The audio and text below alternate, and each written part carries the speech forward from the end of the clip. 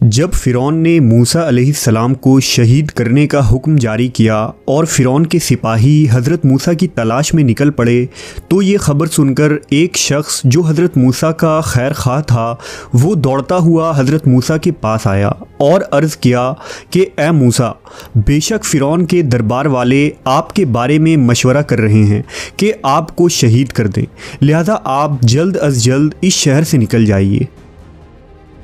इस पर मजबूरन मूसा सलाम ने मिस्र से हिजरत करने का इरादा फरमाया और यहाँ से मिस्र की सरहदों को पार करते हुए मदियन जाने का फ़ैसला किया। मदियन वो मकाम था जहाँ हज़रत शोएब सलाम रहा करते थे और आप अल्लाह के एक बरगुजीदा पैगंबर थे।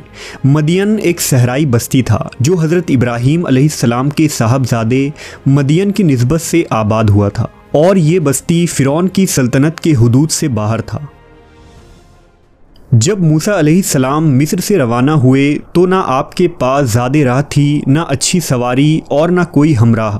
रास्ते में दरख्तों के पत्तों और ज़मीन के सब्ज़े के सिवा खुराक की और कोई चीज़ न मिलती थी। मूसा सलाम कई रोज़ तक तनहा चलते रहे। ये रास्ता वो था जो ना कभी आपने देखा था, ना उसे तय किया था। मूसा सलाम मुसलसल आठ रोज़ तक यूँ ही चलते रहे। यहाँ तक कि आपके पाँव में छाले पड़ गए। इस सख्त और मुश्किल सफ़र के दौरान अल्लाह ने फ़रिश्तों के ज़रिया हज़रत मूसा की मदद की और उन्हें सीधा रास्ता दिखाया। इस तरह मूसा सलाम मदियन पहुँचे। मदियन पहुंचकर हज़रत मूसा शहर के किनारे पर मौजूद एक कुएँ पर तशरीफ़ लाए, जिससे वहाँ के लोग पानी लेते और अपने जानवरों को सैराब करते थे। वहाँ आपने लोगों के एक ग्रोह को देखा कि वो अपने जानवरों को पानी पिला रहे हैं और उन लोगों से इलाहदा दूसरी तरफ़ दो औरतें खड़ी हैं, जिन्होंने अपने जानवरों को इस इंतज़ार में रोके रखा है कि लोग पानी पिलाकर जाएँ और कुआँ खाली हो। तो वो पानी लें। चूँकि कुएँ को मज़बूत और ताकतवर लोगों ने घेर रखा था और उनके हुजूम में औरतों से मुमकिन न था कि वो अपने जानवरों को पानी पिला सकें। मूसा सलाम को इन बाइफ़त ख़वातीन की हालत पर रहम आया कि जो एक किनारे खड़ी थीं और कोई आदमी भी उनके साथ इंसाफ नहीं कर रहा था। चरवाहे सिर्फ़ अपनी भेड़ों की फ़िक्र में थे और किसी और को मौका नहीं देते थे। मजलूमों को जुल्म से बचाना हज़रत मूसा की फितरत थी, जिसकी वजह से उन्होंने फ़िरौन के महल और उसकी नेमतों को ठुकरा दिया था और मुल्क बदर हो गए थे, लिहाजा वो इस जुल्म पर खामोश न रह सके। बयान किया जाता है कि हज़रत मूसा आगे बढ़े और कुएँ के करीब गए। आपने वहाँ मौजूद चरवाहों को पीछे ढकेल दिया और कहा कि तुम कैसे लोग हो कि अपने सिवा किसी और की परवाह ही नहीं करते। उन चरवाहों ने मूसा सलाम को गौर से देखा तो सहम गए। लिबास से मूसा सलाम कोई किब्ती सरदार लग रहे थे और जिस्मानी एतबार से भी आप काफ़ी मज़बूत और लंबे चौड़े इंसान थे। लिहाजा चरवाहे खामोशी से पीछे हट गए और उन्होंने डोल हज़रत मूसा को देते हुए कहा कि, लीजिए, अगर आप पानी खींच सकते हैं तो खींच लीजिए। उन्होंने मूसा सलाम को तनहा छोड़ दिया। लेकिन हज़रत मूसा उस वक्त अगरचा थके हुए थे और उन्हें भूख लग रही थी, मगर क़वत ईमानी उनकी मददगार हुई, जिसने उनकी जिस्मानी क़वत में इजाफ़ा कर दिया। और मूसा सलाम ने उस डोल को अकेले ही खींचकर कुएँ से पानी निकाला, जिसे आठ या दस लोग मिलकर खींच रहे थे। मूसा सलाम ने उन खवातीन को पानी दिया और पीछे हट गए। उस वक्त धूप और गर्मी शदीद थी और हज़रत मूसा ने कई रोज़ से खाना भी नहीं खाया था। आप तन्हा और शहर में अजनबी थे और सर छुपाने के लिए भी कोई आसरा न था। इसलिए मूसा सलाम थकान से चूर होकर पास के एक दरख्त के साय में बैठ गए। आपने बारगाह खुदावंदी में इस तरह दुआ की कि, ए मेरे रब, मैं उस खाने का जो तू मेरे लिए उतारे मोहताज हूँ। इधर जब ये दोनों खातून कुएँ के पानी का इस्तेमाल कर चुकी तो वापस अपने घर चली गईं। दरअसल ये दोनों खातून हज़रत शोएब सलाम की बेटियाँ थीं। जब वो आम दिनों के नस्बत घर जल्दी वापस आईं तो उनके वालिद हज़रत शोएब ने फरमाया ए मेरी बेटियों, इस कदर जल्दी वापस आ जाने का क्या सबब है? उन्होंने अर्ज़ की कि कुएँ के पास एक नेक मर्द मिला था। उसने हम पर रहम किया और हमारे जानवरों को सैराब कर दिया। इस पर हज़रत शोएब ने उनसे कहा कि जाओ और उस नेक मर्द को मेरे पास बुला कर लाओ। चुनांचा उनमें से एक साहबजादी चेहरे को कपड़ों से ढाके पर्दे करते हुए और शर्माती हुई हज़रत मूसा सलाम के पास गईं और उनसे कहा कि मेरे वालिद आपको बुला रहे हैं ताकि आपको इस काम की मजदूरी दें, जो आपने आज हमारे लिए किया है। हज़रत मूसा पहले तो उजरत लेने के लिए राज़ी ना हुए, लेकिन जब उन्हें पता चला कि वो शख्स अल्लाह के पैगंबर शोएब सलाम हैं तो आप उनकी ज़ियारत और मुलाकात के इरादे से उस खातून के साथ चलने को तैयार हो गए। हज़रत मूसा ने उस खातून से फरमाया कि आप मेरे पीछे रहकर रास्ता बताती जाएँ और इस तरह आप हज़रत शुएब के मकान तक पहुँच गए। हज़रत मूसा को देखकर शुएब सलाम ने आपका इस्तकबाल किया और अपनी बेटियों को खाना हाजिर करने को कहा। फिर हज़रत शुएब ने फरमाया कि बैठिए और हमारे साथ खाना खाइए। हज़रत मूसा ने उनकी ये बात मंजूर न की और फरमाया कि मैं अल्लाह की पनाह चाहता हूँ। हज़रत शुएब ने कहा कि खाना ना खाने की क्या वजह है? इस पर हज़रत मूसा ने कहा कि मुझे इस बात का अंदेशा है कि ये खाना मेरे उस अमल का बदला ना हो जाए जो मैंने आपके जानवरों को पानी पिलाकर अंजाम दिया है और मैं नेक अमल पर बदला लेना कबूल नहीं करता। हज़रत शोएब ने फरमाया ए जवान, ऐसा नहीं है। ये खाना आपके अमल के अवज़ में नहीं होगा, बल्कि ये मेरे और मेरे ख़ानदान की आदत और रिवाज है कि हम मेहमान नवाजी किया करते हैं और मुसाफिरों को खाना खिलाते हैं।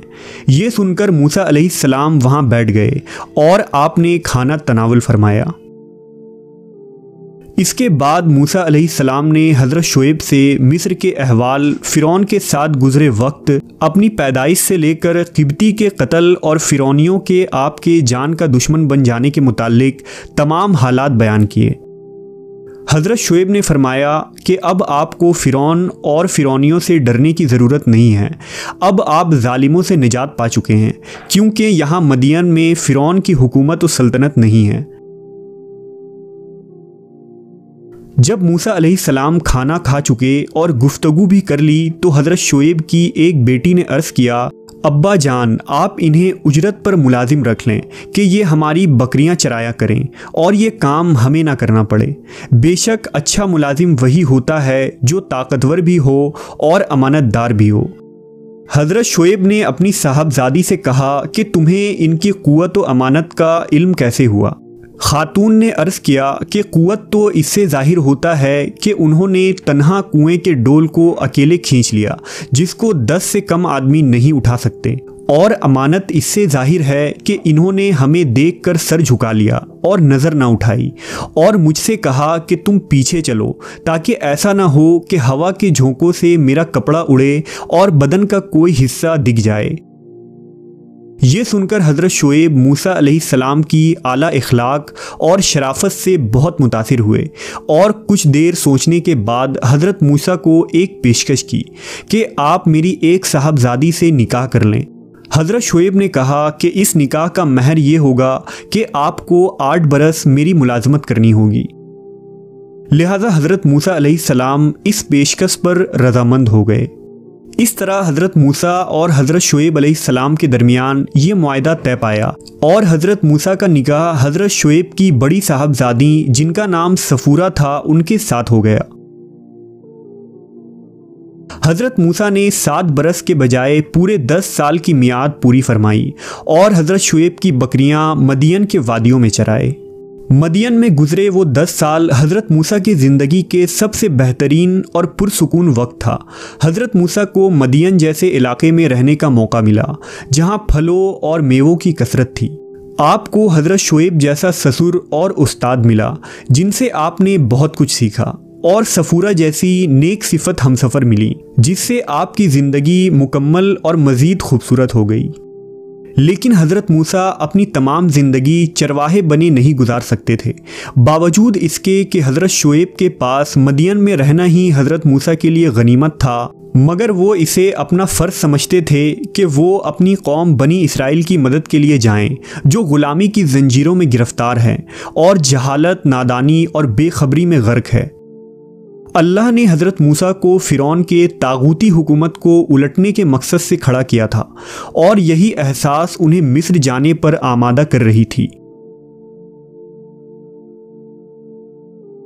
लिहाजा दस सालों बाद हज़रत शुएब सलाम की इजाज़त से हज़रत मूसा अपनी जोजा सफूरा के साथ वापस मिस्र की तरफ़ रवाना हो गए।